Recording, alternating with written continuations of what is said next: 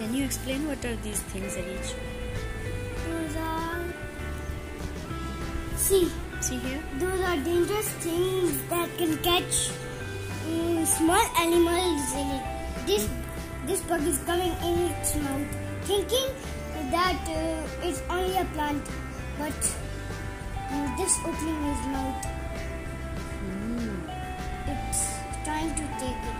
It's, if it lands on here, so it just moves, moves down, down. So it just closed, and the honey uh, and this get everywhere. It flies. It don't know mm, Where to go. to go. Hmm. And it, it will get trapped. It will get trapped, and this uh, suck the blood off it. Oh my god. Oh my, this is so dangerous. This can either eat mm, very badly someone. it can eat very badly to Okay. someone. So. Hmm. So these are the bug eating plants? Yes, Okay. Where did you saw these? Huh? I saw. I saw in Pakistan. In Pakistan?